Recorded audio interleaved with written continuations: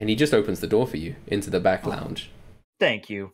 And as you See, guys enter the back lounge, A swell guy. All right. you you walk in. The smoky jazz music is playing, and you hear a sort of in the distance. that was really probably uncomfortable for everyone. Sounds like the hell? I did probably did sounds that a very little too well. Oh, Boy.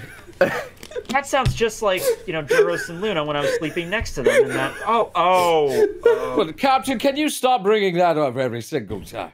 I Uh, mean, I just I brought it up as a reference, Duros. It Uh, sounds very similar. That's all Oh, I'm saying. is- oh my lord. Okay. Um. Hey Verona, wouldn't you animate something to go and check? I don't know if anybody wants to go in. And Oh, check. I'm sure it's nothing All right. bad. I'll just go in and check myself, Captain. Oh God! That, All it right. can't be that. You walk you walk in like you kind I'm of ready to bonk. push it past some curtains and there's like boss and roulette they're half naked they're not fully naked. And, and boss is like oh, oh Duros Duros and he's like putting his shirt back on. Whoa hello hey hey I didn't expect you today. Hey uh, hey. And but as he's putting his shirt back on you do notice that like he has even more like wounds than he used to right? His his kind of body looks a lot weaker and God, more, what kind of stuff more- are you guys into in here? Jeez.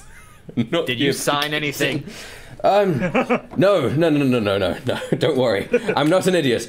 Um, and roulette's like, huh, I, I, I don't, I don't make people sign to to do that sort of thing with me. No, give, give a lady some privacy.